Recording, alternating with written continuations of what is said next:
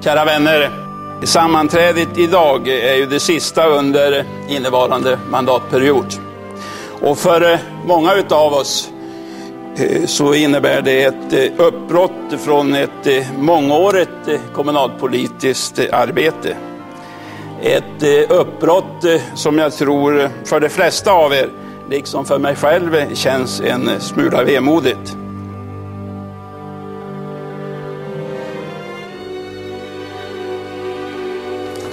Jag är född 1939 eh, i ett eh, gammalt, eller ett litet brukssamhälle utanför Umeå som heter Obbola.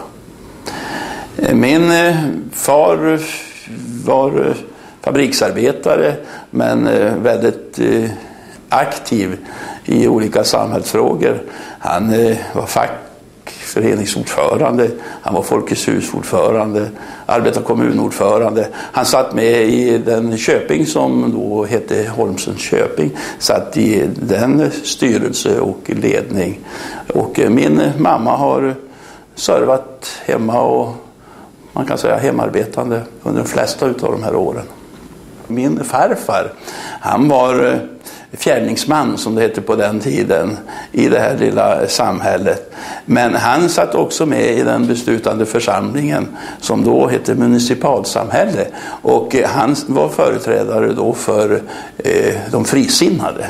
Så att eh, min far och eh, hans far, de hade olika politiska åsikter.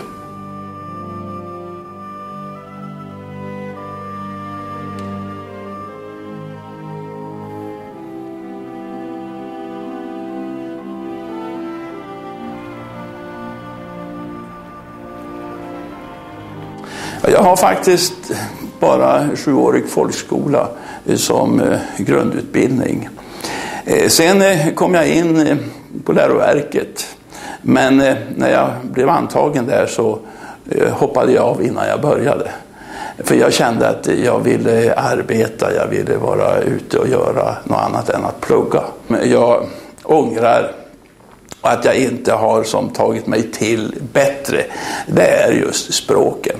Eh, det har jag försummat. Jag skulle vilja kunna flytande engelska, franska för att ta ett par exempel.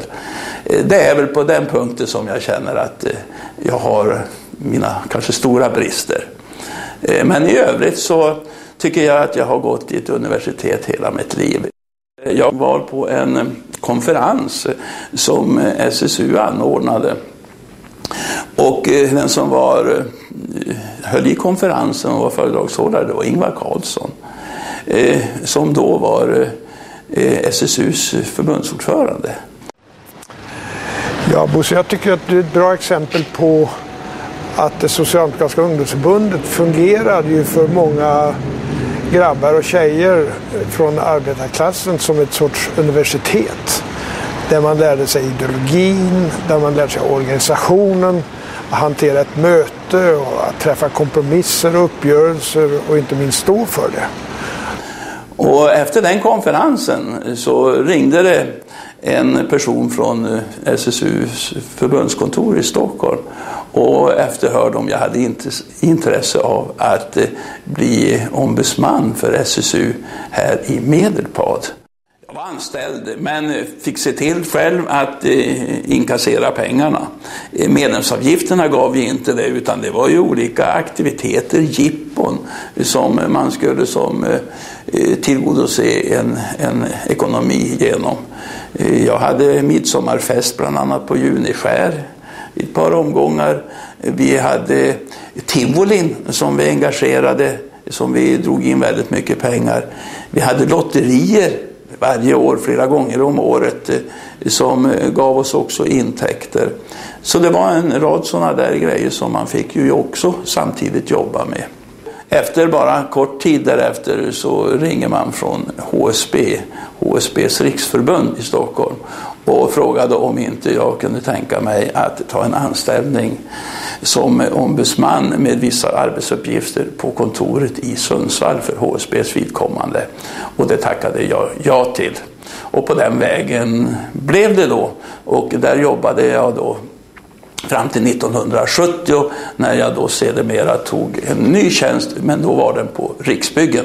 Det jobbet och eh, mitt huvudsakliga jobb var att vara ute på kommunerna, eh, ordna mark, eh, se till att få byggnadslov, bygga upp de här fabricerade eh, småhusen från Ådalshus. Och det kan jag försäkra om att det var en enormt stor eh, åtgång just på småhus vid de tillfällena. Och då eh, skriver vi 1970 till 1974. Och när jag åker runt idag så säger jag just det här att jaha, det här var jag med och byggde 1971. Det här var 1973. Jag undrar hur de underhåller husen idag. Och det är just det som är intressant och nyfiket. Och själv har jag bott i ett sånt här hus tills bara för ett par år sedan ute i Ljustadalen. Jag vet när vi sen fick de där oerhört svåra besluten 89-90 och på 90-talet. Som jag tycker var en prestation att vi orkar ta dem och som vi har glädje av i Sverige idag.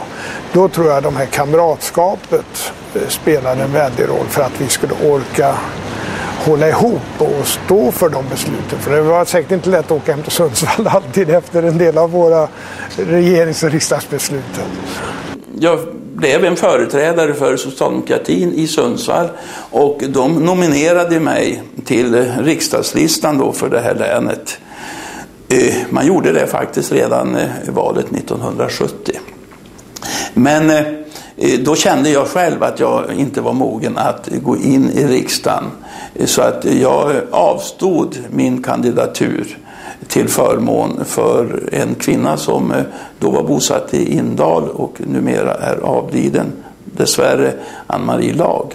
Men när hon avled då 1974 så stod jag på platsen efter henne och därigenom så kom jag in i riksdagen eh, av då naturliga skäl.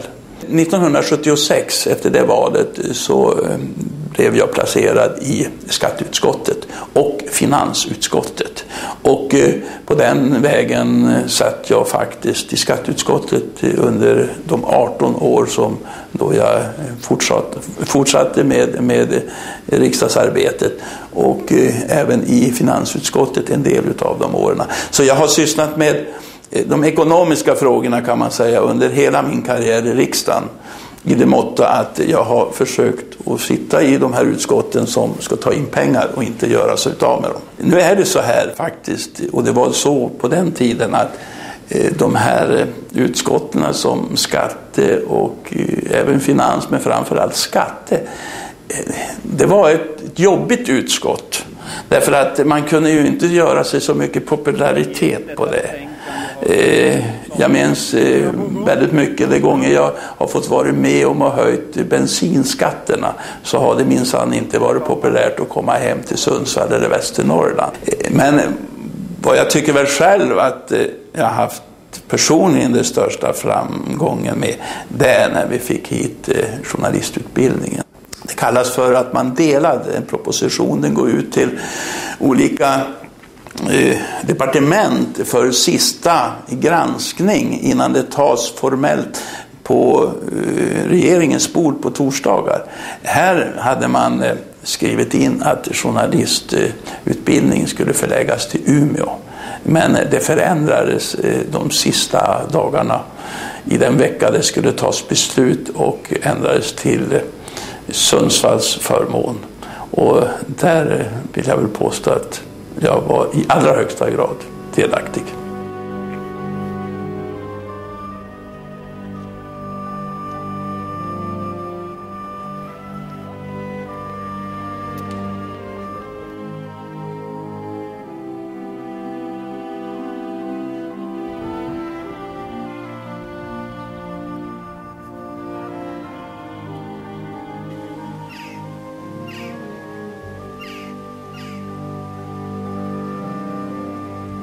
efter att ha tagit steget som eh, SSU-medlem och till att eh, ta ett engagemang i SSU centralt eh, så är det givetvis flera personer som mm, hör till den gruppen.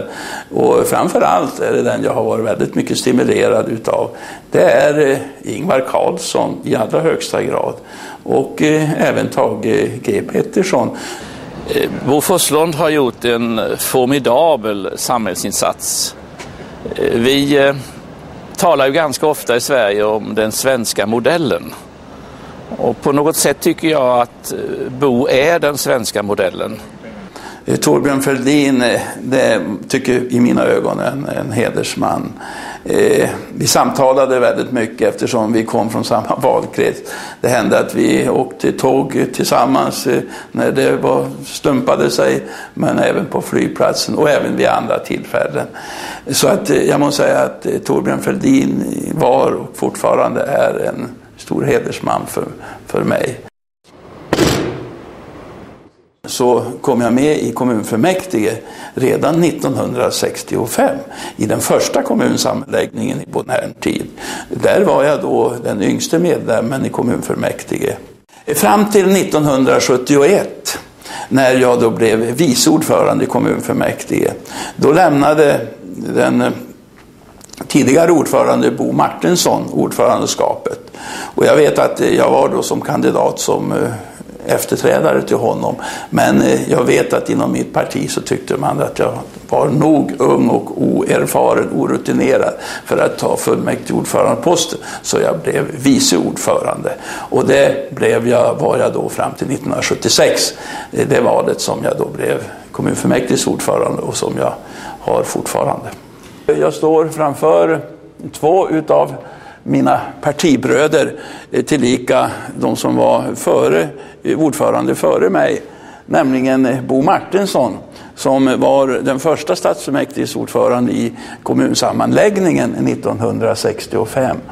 Han eh, satt kvar då fram till valet 1970 och avgift då och efterträddes utav eh, lantbrukaren J. Alex Bergström från eh, den gamla Selånger kommunen. Och eh, han satt eh, under två valperioder, valperioderna var ju då tre år på den tiden. Och han presiderade som ordförande i fullmäktige Eh, mellan 1970 och 1976. Eh, därefter så har jag övertagit fullmäktige ordförandeskapet och fortfarande sitter där eh, till och med fram till detta val när jag nu avgår efter 26 år som kommunfullmäktiges ordförande här i Sundsvall. Ändra kommunens vapen, det är en stor process. Eh, det måste man ha eh, godkännande för och så vidare. Och så vidare. Och det har vi aldrig begärt. Vi har inte begärt att få någon ändring på det. Så därför så finns det egentligen bara en symbol egentligen.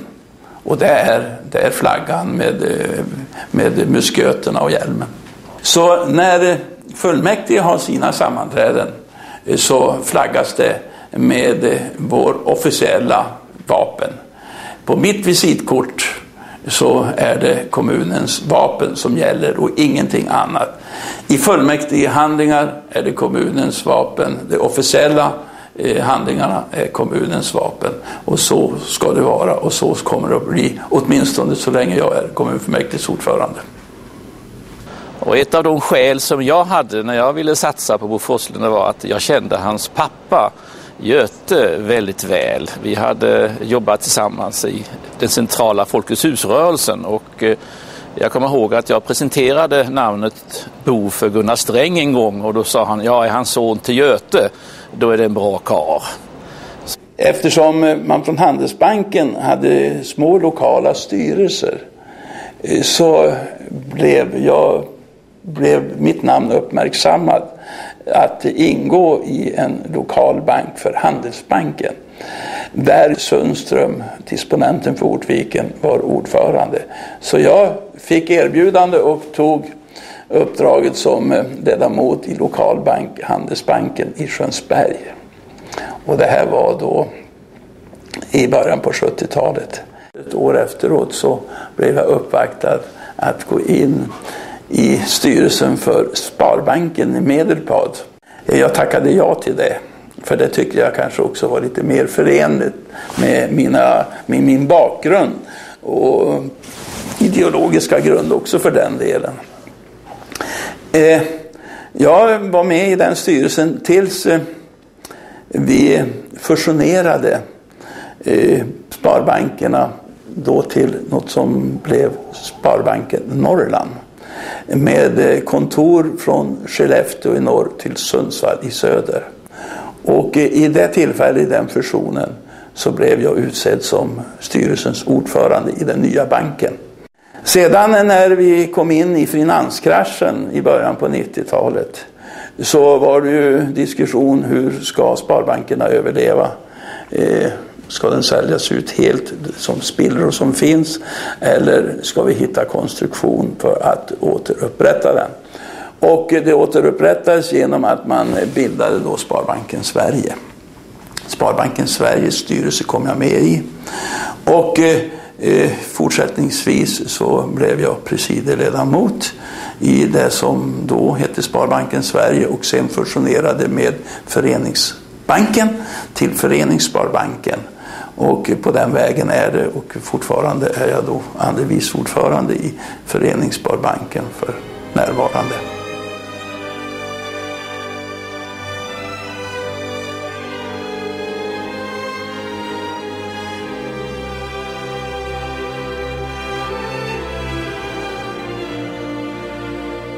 Jag har som under hela min karriär fått vara med och gått i ett universitet. Även om jag har sjuårig folkskola så har jag hela tiden eh, ställts inför saker och ting där jag är tvungen att förkovra mig, försöka sätta mig in och framförallt lyssna eh, till så många olika synpunkter som givetvis kommer fram under resornas gång. Jag har eh, all anledning att vara tacksam eh, för eh, de här åren som jag har fått vara med. Och nu gäller det bara att få vara frisk och vara med i svängen ett tag till, men på andra villkor. Man får väl säga så här eftersom jag har varit eh, engagerad i olika uppdrag och inte minst samhällsuppdrag under så många år så har jag givetvis inte klarat det om inte jag har haft en, eh, en familj som har stöttat och backat upp mig. Eh, jag har en hustru och två döttrar och det är klart att jag har försummat väldigt mycket under den tiden men tack vare att de har haft den här förståelsen så har det här fungerat och gått väldigt bra. Ja. En dokumentärfilm om Bo Forslund, kan det vara möjligt? Tror du verkligen det? Ja, självklart. Det förtjänar Jag vet bara det en sak, att Bo Forslund var väl kanske den mest framstående praktiska socialdemokratiska bankpolitiker. Han har varit med och tagit sparbanksrörelsen ur krisen. Och inte nog med det, han har vunnit ett och annat på trav också. Vilket vi faktiskt har förstått. Om det här är en film som Bosse ser så tycker jag att han ska känna att eh, det är många som har gillat honom. Tycker att han har gjort ett jättebra jobb. Bra kamrat. Också väldigt tydligt förankrad i vår rörelse. Framförallt i Sundsvall. Tack Bosse. Tack så mycket.